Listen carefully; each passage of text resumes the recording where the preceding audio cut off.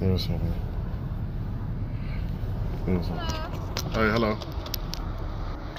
Hey, we got a call for your car being parked in front of this house. Are you here for any kind of reason? Well, she approached me, and as far, and as far as I told her when she approached me on a public street, she doesn't have any right to No, tell me to move, right? Yeah. I told her she's gonna call you guys, make sure that she tells you guys that I'm parked in a public street, so you guys don't have to waste your time coming out here. She Okay. seems to think that it's illegal to park in front of her house. I told her I can be here for as long as I want to be here, so she's not gonna move me.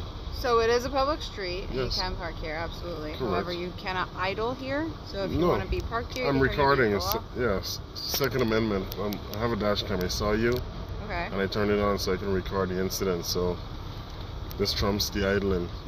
You know, sec- sorry, First Amendment right, not Second Amendment. First Amendment right to record. I'm recording the public official in the case of your in course of your job. Of course. So I need battery. I need battery life. So as soon as you put off, I'm gonna turn this off. Okay. So Sounds this, good. It's recording. Yeah. Okay. Do you have any kind of reason as to why you're parked in a public street, minding my business, man. I didn't even want to talk to her. Yeah, I'm not talking to anyone else who parks there. Okay. Yeah. Just only the vehicle idling. You are parked legally, so I have no problem with that. Okay. Perfect. Take. Can I Alright, get a name and badge numbers? Officer Watts, two three three. Watts? Yes. Uh, You have a card? I do not. Okay, all right.